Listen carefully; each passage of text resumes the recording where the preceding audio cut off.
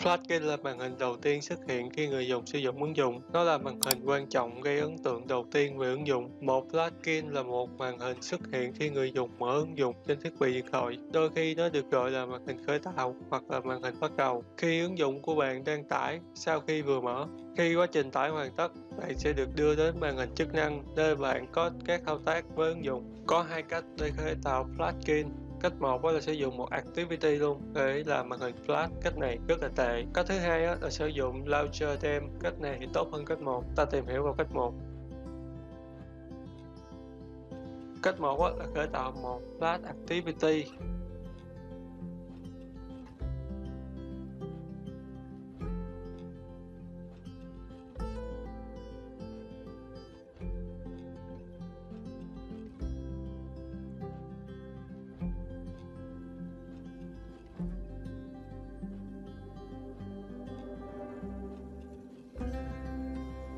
Ở layout này mình sẽ tạo một layout có background là màu xanh và một icon ở chính giữa cho đơn giản.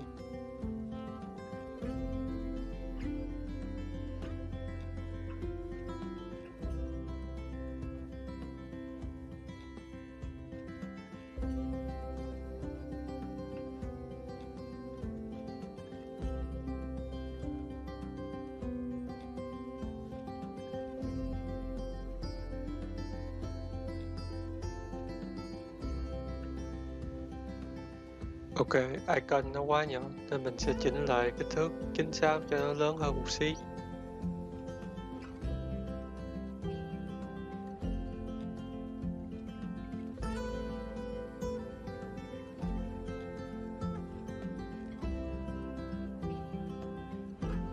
Bây giờ chuyển sang Android Manifest, mình sẽ tiến hành cho Flash Activity chạy trước Main Activity.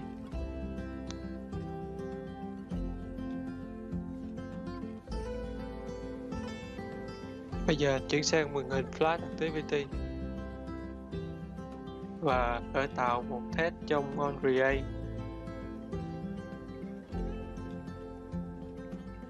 Và cho nó hiển thị khoảng 2 đến 3 giây.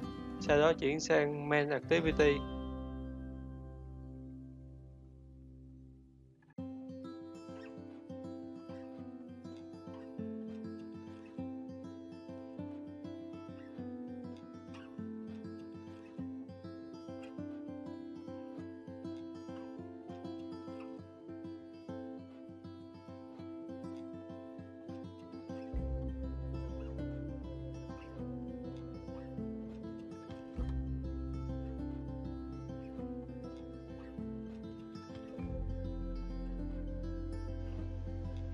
đó là cách cài đặt dễ nhất, cách tiếp cận vấn đề như thế này á, chưa chính xác.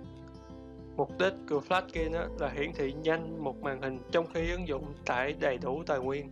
Với cách tiếp cận này á, thì trước khi mà hiển thị màn hình Flash hệ thống đã hiển thị màn hình trắng trước một vài giây chờ cho ứng dụng load đủ tài nguyên rồi mới tạo màn hình flash như vậy là đi ngược lại với mục đích.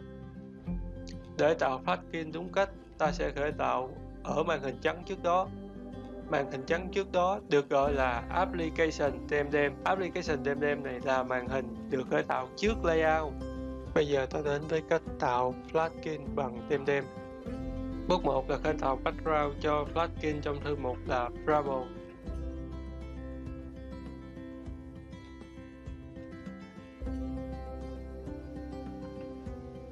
Ở bước này, các bạn tạo cái giao diện giống với giao diện plugin hồi nãy nhé, hoặc là kết tâm hay ý thích của bạn.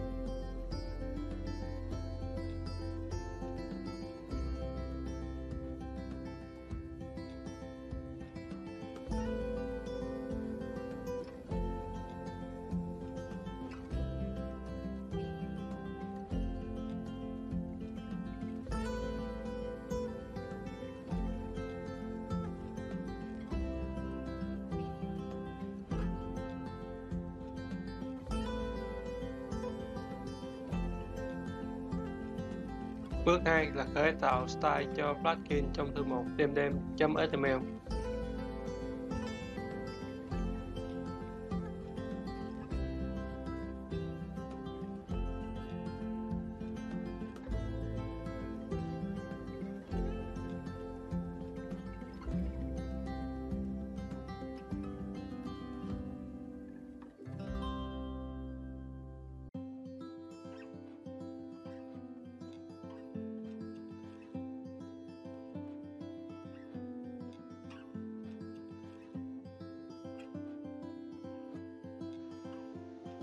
Bước 3 là thay thế thêm của màn hình Flash Activity. Nhưng ở đây chưa có màn hình Flash Activity, nên mình sẽ tạo một màn hình mới. Do màn hình này được load giao diện từ manifest, nên mình sẽ không có set còn tên view cho nó.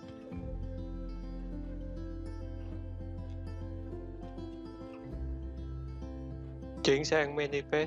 Mình sẽ tiến hành gắn thêm thêm vừa tạo cho màn hình mới này.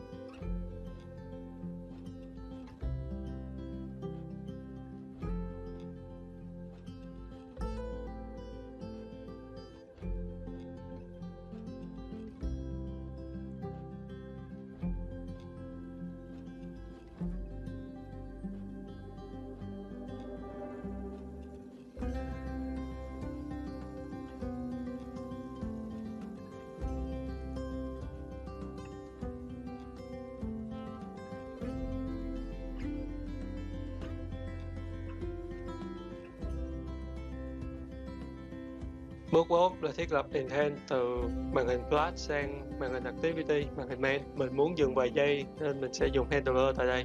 Các bạn cũng có thể thêm điều kiện khác như là tải dữ liệu từ server hoặc là load dữ liệu từ các thiết bị rồi mới chuyển sang main activity thì cũng được.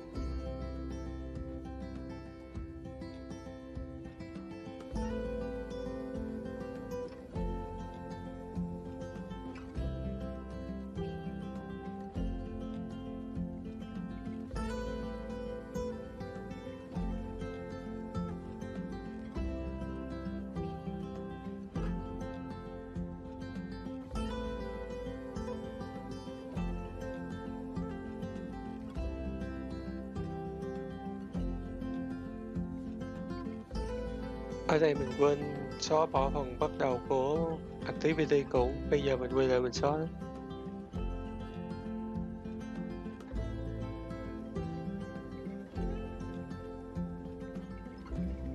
kết quả các bạn có thể thấy đó, sẽ không có một màn hình trắng hoặc đen nào đó tạo trước khi mà khởi tạo flash skin của bạn. Flash skin của bạn sẽ chạy trước hết và sau đó đến main activity. Video của mình đến đây là kết thúc. Nếu các bạn nào thấy hay thì hãy nhấn nút đăng ký cho kênh của mình. Còn bạn nào có thắc mắc thì hãy bình luận ở phía bên dưới hoặc là gửi mail cho mình, mình sẽ trả lời tất cả các bạn. Bây giờ hẹn gặp lại các bạn trong các video lần sau.